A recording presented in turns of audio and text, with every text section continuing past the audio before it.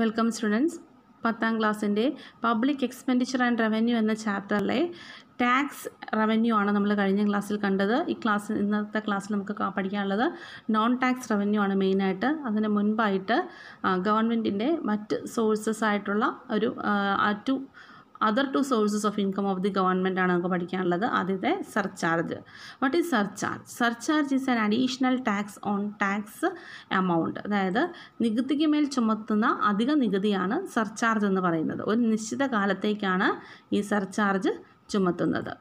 Surcharge ചുമത്തുന്നത് ഒരു നിശ്ചിത സമയത്തേക്കാണ്. This is imposed for a certain period of time usually surcharge is imposed as a given percentage on the income tax. അപ്പം സാധാരണയായിട്ട് വരുമാന നികുതിയുടെ നിശ്ചിത ശതമാനമാണ് സർചാർജായിട്ട് ഈടാക്കുന്നത്. ഇനി നമുക്ക് പഠിക്കാനുള്ളത് സെസ് ആണ്. എന്താണ് cess? What is cess? Cess is an additional tax for meeting some special purpose of the government അതായത് സർക്കാർ ചില പ്രത്യേക ആവശ്യങ്ങൾക്കായി ചുമത്തുന്ന അധിക നികുതിയാണ് നമ്മൾ സെസ് എന്ന് പറയുന്നത്.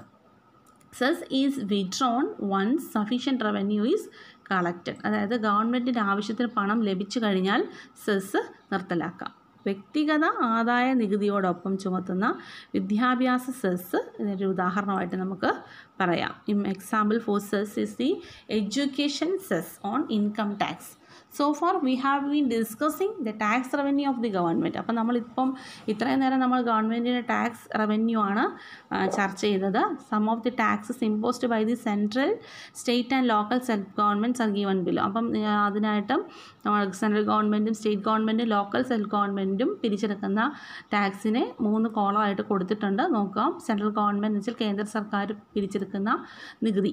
Corporate tax personal income tax central G S T goods and service tax integrated G S T ഇനി സ്റ്റേറ്റ് ഗവൺമെന്റിന്റെ കീഴിൽ വരുന്നതാണ് ലാൻഡ് ടാക്സ് ഭൂനികുതി stamp duty state S G S D local self government എന്ന് വെച്ചാൽ തദ്ദേശ സ്വയംഭരണ സർക്കാരിന്റേത് വസ്തു നികുതിയും തൊഴിൽ നികുതിയുമാണ്. മനസ്സിലായില്ലേ? ഇനി നമുക്ക് പഠിക്കാനുള്ളത് പ്രധാനപ്പെട്ട നോൺ ടാക്സ് റവന്യൂവിന്റെ സോഴ്സസ് ആണ്. The sources of non tax revenue അതായത് ഇവിടെ കൊടുത്തിരിക്കുന്ന പോലെ fees fine and penalty grants interest profit ഇതാണ് പ്രധാനപ്പെട്ട നോൺ ടാക്സ് റവന്യൂ അപ്പം ആദ്യമേ നമുക്ക് എന്താണ് ഈ ഫീസ് എന്ന് നോക്കാം. What is fees fees is the reward collected for the government services licence fees registration fees tuition fees etcetera are example അപ്പോൾ ഫീസ് എന്ന് പറയുന്നത് സർക്കാർ സേവനങ്ങൾക്കുള്ള പ്രതിഫലമാണ്. ഉദാഹരണം licence fees registration fees tuition fees എന്നിവയാണ്. Then fines and penalties fines and penalties are punishments for violating the laws അത് നിങ്ങൾക്കറിയാം. എന്താണെന്ന് അല്ലേ? നിയമം ലംഘിക്കുന്നതിന് നൽകുന്ന ശിക്ഷയാണ് ഫൈൻ എന്നും പെനാലിറ്റി എന്നും പറയുന്നത്.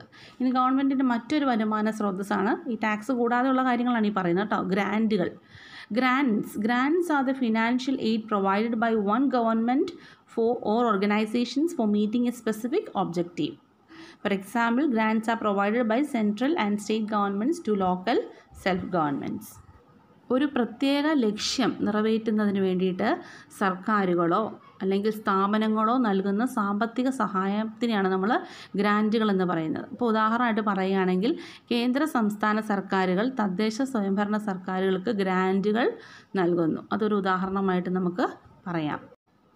Next one is interest Government receive interest for loans given to various enterprises, agencies and countries അതായത് സർക്കാർ വിവിധ സംരംഭങ്ങൾക്കും ഏജൻസികൾക്കും രാജ്യങ്ങൾക്കും നൽകുന്ന വായ്പയ്ക്ക് പലിശ ലഭിക്കുന്നു. അതും ഗവൺമെന്റിന് കിട്ടുന്ന ഒരു വരുമാനമാണ്. Next one is then profit profit is a net income received from the enterprises operated by the government for example profit from Indian Railways അപ്പം നമ്മുടെ സർക്കാരിന് നടത്തുന്ന സംരംഭങ്ങളിൽ നിന്നുള്ള അറ്റ വരുമാനത്തെയാണ് നമ്മൾ ലാഭം എന്ന് പറയുന്നത്. ഉദാഹരണമായിട്ട് നമ്മുടെ ഇന്ത്യയിലെ ഏറ്റവും വലിയ പബ്ലിക് സെക്ടർ അണ്ടർടേക്കിങ്ങിൽ നിന്നുള്ള ലാഭം. ഇന്ത്യയിലെ ഏറ്റവും വലിയ പബ്ലിക് സെക്ടർ അണ്ടർടേക്കിംഗ് എന്ന് പറയുന്നത് നമ്മുടെ റെയിൽവേ ആണ്. റെയിൽവേയിൽ നിന്നുള്ള ലാഭം നമുക്ക് അതിന് ഉദാഹരണമായിട്ട് പറയാം. അപ്പം which are the non tax revenue എന്ന് ചോദിച്ചാൽ നമ്മൾ ഇത്രയും എക്സ്പ്ലെയിൻ ചെയ്ത് എഴുതണം. When public income is sufficient in in insufficient to meet the expenditure the government resort for borrowing അപ്പം ഇതൊന്നും തികയാതെ വരുമ്പോഴത്തേക്കാണ് അതായത് പൊതുവരുമാനം ആവശ്യത്തിന് തികയാതെ വരുമ്പോഴാണ് സർക്കാരുകൾ കടം വാങ്ങാറുള്ളത്. അങ്ങനെ വാങ്ങുന്നതിനാണ് നമ്മൾ പൊതു കടം അല്ലെങ്കിൽ പബ്ലിക് ഡെപ്റ്റ് എന്ന് പറയുന്നത്. Public ഡെപ്റ്റ് R loans taken by the government അപ്പം ഗവൺമെന്റ് എടുക്കുന്ന കടത്തിനെയാണ് വായ്പകളെയാണ് നമ്മൾ പുതുകടമെന്ന് പറയുന്നത്. Loans are availed from within and outside the country these know these are known as internal ഡെപ്റ്റ് and external ഡെപ്റ്റ് respectively അപ്പോൾ ലോൺ എന്ന് പറയുന്നത് രാജ്യത്തിനകത്തു നിന്നും രാജ്യത്തിന്റെ പുക പുറത്തു നിന്നും ലോണ് എടുക്കും. ഇതിനെ നമ്മൾ ഇന്റേർണൽ ഡെപ്റ്റ് എന്നും എക്സ്റ്റേണൽ ഡെപ്റ്റും എന്നാണ് പറയുന്നത്. അതായത് ഇന്റേർണൽ ഡെപ്റ്റ് എന്ന് വെച്ചാൽ ആഭ്യന്തര കടം പിന്നീട് എക്സ്റ്റേണലിനെ നമ്മൾ വിദേശ കടമെന്നും പറയും. What is internal ഡെപ്റ്റ് internal ഡെപ്റ്റ് are the loans availed by the government from individuals and institutions within the country പറഞ്ഞതുപോലെ തന്നെ രാജ്യത്തിനകത്തുള്ള വ്യക്തികളിൽ നിന്നും സ്ഥാപനങ്ങളിൽ നിന്നും വാങ്ങുന്നതാണ് ആഭ്യന്തര കടം. പിന്നെ വിദേശ കടമെന്ന് പറയുന്നത് വിദേശ ഗവൺമെന്റിൽ നിന്നും അന്തർദേശീയ സ്ഥാപനങ്ങളിൽ നിന്നും വായ്പ വാങ്ങിക്കുന്ന വായ്പയാണ് വിദേശ കടമെന്ന് പറയുന്നത്. External ഡെപ്റ്റ് are the loans availed from foreign governments and international institutions അപ്പോൾ നമ്മുടെ ഒരു ടേബിൾ കൊടുത്തിട്ടുണ്ട്. രണ്ടായിരത്തി പന്ത്രണ്ട് മുതൽ രണ്ടായിരത്തി പതിനെട്ട് വരെയുള്ള ഇന്റേർണൽ ഡെപ്റ്റും എക്സ്റ്റേണൽ ഡെപ്റ്റിന്റെയും കൊടുത്തിട്ടുണ്ട്. അപ്പം ഇന്റേർണൽ ഡെപ്റ്റ് ആയിക്കോട്ടെ എക്സ്റ്റേണൽ ഡെപ്റ്റ് ആയിക്കോട്ടെ ക്രോർസിലാണ് കൊടുത്തിരിക്കുന്നത്. അപ്പം ഇന്റേർണൽ ഡെപ്റ്റ് ആദ്യത്തേതിൽ നിന്ന് കമ്പയർ ചെയ്ത് ആദ്യത്തെ രണ്ടായിരത്തി പന്ത്രണ്ട് എന്ന വർഷത്തിൽ നിന്നും കമ്പയർ ചെയ്ത് നോ രണ്ടായിരത്തി പതിനെട്ടിൽ വെച്ച് നോക്കുമ്പോഴത്തേക്കിനും ഇത് വർദ്ധിച്ചുകൊണ്ട് തന്നെയാണ് ഇരിക്കുന്നത്. ഇറ്റ് ഈസ് ഇൻക്രീസിങ് കുറയുന്നില്ല. ആ ടേബിൾ കാണുമ്പോൾ നമുക്ക് അതാണ് മനസ്സിലാക്കാനായിട്ട് സാധിക്കുന്നത്. അതായത് നമ്മുടെ ഇന്ത്യയിൽ നമ്മുടെ പൊതുകടം വർദ്ധി ച്ചുകൊണ്ട് ആണ് ഇരിക്കുന്നത്. അപ്പോൾ ഇന്ത്യയുടെ what are the reasons for the increase in India's public ഡെപ്റ്റ് എന്നാണ് നമുക്കിനി പഠിക്കാനുള്ളത്. The first one is increased defense expenditure. Second is increase in population. Then third one is social welfare activities. Next one is developmental activities. അപ്പം ടെക്സ്റ്റിൽ കൊടുത്തിരിക്കുന്ന reasons ഇതൊക്കെയാണ് എന്തൊക്കെയാണ് അതായത് ജനസംഖ്യ വർദ്ധിക്കുന്നത് പ്രതിരോധ രംഗത്തെ ചെലവ് ഡിഫൻസ് എന്ന് വെച്ചാൽ പ്രതിരോധ രംഗത്തെ ചിലവുകളാണ്. പിന്നീട് സാമൂഹിക ക്ഷേമ പ്രവർത്തനങ്ങൾ വികസന പ്രവർത്തനങ്ങൾ അതുപോലെ തന്നെ ഹെൽത്തിന് വേണ്ടിയിട്ട് നമുക്ക് പൈസ ചിലവാക്കേണ്ടി വരും. ആരോഗ്യ പരിപാലനത്തിന് വേണ്ടിയിട്ട് ഗതാഗത പരിഷ്കാരങ്ങൾക്ക് വേണ്ടിയിട്ട് ട്രാൻസ്പോ ട്രാൻസ്പോർട്ട് ഫെസിലിറ്റീസൊക്കെ വർദ്ധിപ്പിക്കാൻ വേണ്ടിയിട്ടൊക്കെ നമുക്ക് പൈസ ചിലവാക്കും ആവശ്യമുണ്ട്. ഇതൊക്കെ ഇതൊക്കെ വരുമ്പോഴത്തേക്കിനും പൊതുകടം വർദ്ധിക്കും. These are the reasons for increase in the public നമ്മുടെ കടം വർദ്ധിക്കാനായിട്ടുള്ള കാരണം. അതായത് പബ്ലിക് ഡെപ്റ്റ് ഇൻക്രീസ് ചെയ്യാനായിട്ടുള്ള കാരണം. പൊതുകടം ഇൻക്രീസ് ചെയ്യാനായിട്ടുള്ള കാരണം. And the reasons for increase in India's public ഡെപ്റ്റ് എന്ന് വെച്ചാൽ നമ്മൾ ഇത്രയാണ് എഴുതേണ്ടത്. Next one is public finance എന്താണ് പബ്ലിക് ഫിനാൻസ് എന്ന്? പബ്ലിക് ഫിനാൻസ് എന്ന് വെച്ചാൽ പൊതു ധനകാര്യമാണ് public finance. Public finance is a branch of economics that relates to the public income, public expenditure and public debt. Public finance is presented through the budget. അപ്പോൾ public finance എന്ന് പറയുന്നത് പൊതുവരുമാനം പൊതു ചെലവ് പൊതുകടം എന്നിവയെക്കുറിച്ച് പ്രതിപാദിക്കുന്ന ഒരു സാമ്പത്തിക ശാസ്ത്രശാഖയാണ് ഇക്കണോമിക്സിൽ പെട്ട ഒരു ഇതാണ് പൊതുധനകാര്യം പൊതുധനകാര്യത്തെ സംബന്ധമായ കാര്യങ്ങൾ ബജറ്റിലൂടെയാണ് പ്രതിപാദിപ്പിക്കുന്നത്. അടുത്തത് നമുക്ക് പഠിക്കാനുള്ളത് എന്താണ് ബജറ്റ് എന്നാണ്. What is budget is the financial statement showing the expected income and expenditure of a government during a financial year in India financial year is from April one to March thirty one അപ്പോൾ budget എന്ന് പറഞ്ഞാൽ എന്താണ്? അതായത് ഒരു സാമ്പത്തിക വർഷത്തിൽ അത് നമ്മൾ നിങ്ങൾ ശ്രദ്ധിക്കണം ഒരു സാമ്പത്തിക വർഷത്തിൽ സർക്കാർ പ്രതീക്ഷിക്കുന്ന വരുമാനവും ചെലവും വിശദമാക്കുന്ന ഒരു ധനകാര്യ രേഖയാണ് ബജറ്റ്. നമ്മൾ ഇന്ത്യയിൽ ബജറ്റ് എന്ന് പറയുന്നത് ഏപ്രിൽ ഒന്ന് മുതൽ മാർച്ച് മുപ്പത്തൊന്ന് വരെയാണ് സാമ്പത്തിക വർഷമായിട്ട് നമ്മൾ ഫിനാൻഷ്യൽ ഇയർ ആയിട്ട് കണക്കാക്കുന്നത്. ആ അത് നോക്കിയിട്ടാണ് ടാക്സ് ഒക്കെ പിരിച്ച് എടുക്കുന്നത്. ഗവൺമെന്റ് ഉദ്യോഗസ്ഥരിൽ നിന്നൊക്കെ അല്ലാതെ ഇൻഡസ്ട്രീസിൽ നിന്നൊക്കെ ടാക്സ് പിരിച്ചെടുക്കുന്നത് ഈ ഡേറ്റ് നോക്കിയിട്ടാണ്.